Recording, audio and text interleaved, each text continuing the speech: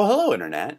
In this tutorial, I'm going to explain exactly how people make decisions. And I'm going to do that by analyzing what is called metaprogramming, which is based off of a branch of psychology called neurolinguistic programming. More specifically, we're going to cover how people make decisions, develop preferences, focus attention, communicate, and work well. And this presentation is brought to you because I received this request from John 429130. First, I want to review metaprogramming. If you didn't watch the first part of the decision-making tutorial, you should most definitely watch it. But because it's been a couple weeks since I created that, I'm going to briefly go over what metaprogramming is. Metaprogramming is the programming in your brain that you use to react in all situations. When we experience anything in life, we ignore and generalize most of the information. The info we do store is used to react in future situations. Our meta programs help us to use past info we gathered to make quick decisions immediately. Metaprogramming, for example, helps a person reason, gather information, decide on preferences, deal with stress, emote, and make decisions, which pretty much encapsulates a lot of the things that lie there above it. The information we store in our mind is heavily reliant on one of three main senses, being either visual, auditory, or touch or feeling. Touch or feeling are pretty much the same sort of thing. If you're talking to someone, they will better understand you and make better decisions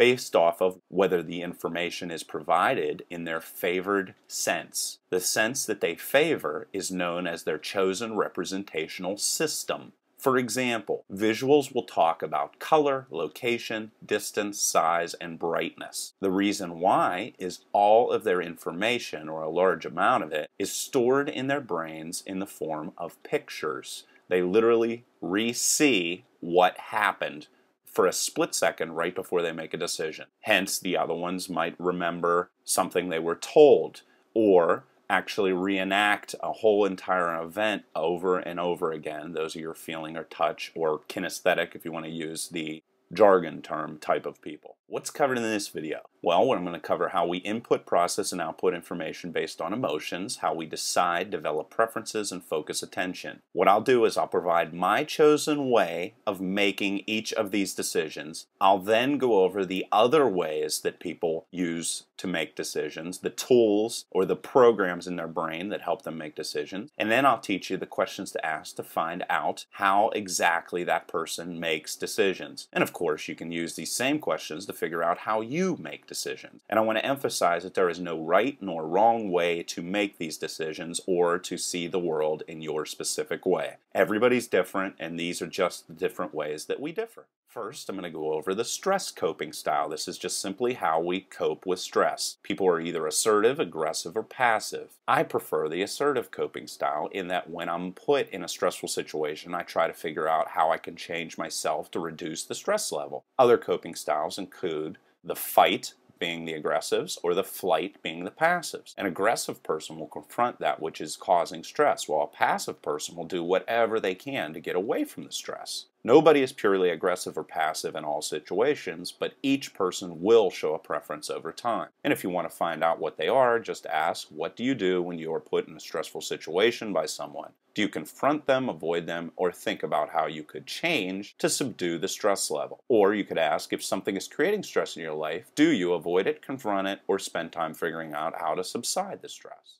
Then you have the authority style, meaning what authority governs a person's decision making. I very strongly make decisions based off of my own internal values, meaning that I'm self referent. Others rely heavily on the general values of society as a whole. They believe everyone should follow a very strict set of rules and live in a world of shoulds and should nots. If you want to find out what somebody is, just ask them are your values based off of your own rules or those general rules, be they societal or biblical? Or more simple, when making decisions, do you trust your gut or do you think about how people may judge your decisions? Then you have the emotional state, meaning are you more of a thinking person or a feeling person? Again, there are no right or wrongs. I process data by thinking my way through it, meaning I'm a thinking type emotional person. Other people process data by completely immersing themselves emotionally. They see the world as a whole while ignoring the minute details. Thinking type people see the details but miss the emotional impact of situations. If you want to find out what someone is, just ask them, when making a decision, do you rely on facts or personal values?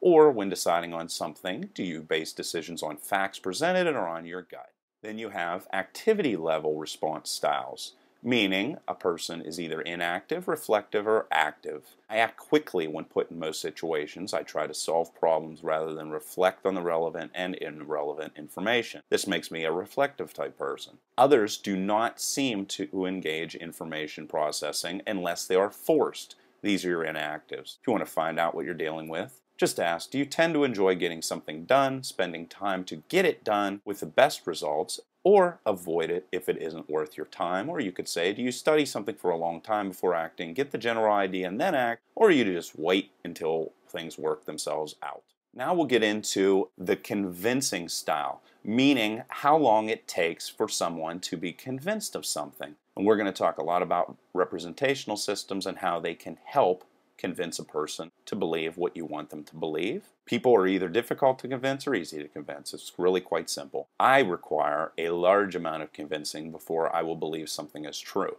Other people are convinced normally based on just whether something is sold targeting their chosen representational system. Their representational system, if it is used in trying to persuade them, will make things sound more believable. This is what someone means when they say, that sounds believable. That is an auditory person saying, you are speaking in my representational system. That's why they say, that sounds believable. A kinesthetic or a feeling or touch type person would say something like, that feels right, while a visual would say something like, that looks right. People differ in regards to how many times something must gel with their representational system before they make decisions as well. For some people, something must feel right, meaning kinesthetic, in their chosen system. I keep referring to kinesthetic, that's the same as touching or feeling type people. Other people require it to sound right many times before they make a decision. Most people make decisions based off of visuals. So if you want to just pretty much cut to the chase, talk in visuals to get people to understand you or to believe what you're telling them is true. That they make up 50 to 75% of the population.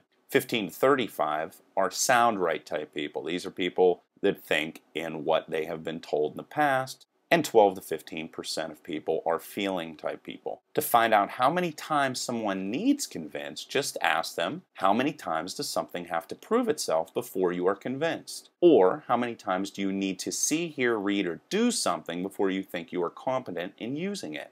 8 to 10% of people assume something will be right for them. They just, these are the easy sales. They just say, yeah, you're probably right. 50% of people can be persuaded to believe anything if you just present believable information in their chosen representational system enough times. And I told you before how to figure out what is enough times. Other people, 25% of society, make decisions purely based on their own personal time requirements being met. Once they feel that they have thought about something long enough, they make a decision. If someone says they'll get back to you in three months, they normally mean dramatically less than that. If you contact them, say, in three weeks and reference that it feels like three months, they will probably agree with you and then make a decision. 15% of people are almost never convinced of almost anything. These are the people that go through life mistrusting most people. The only way to try and convince these people is to tell them straight up that you're aware that they're a person that is very hard to convince and that no time will probably feel like the right time to try something different. So why don't they just give it a try today? Then you have your emotional direction type people, meaning how much impact emotion has on a person's life, whether emotions are pervasive or non pervasive. My emotions are definitely non pervasive. I'm happy about some things and unhappy about other things at the same time. A person that has pervasive emotions will be either unhappy about everything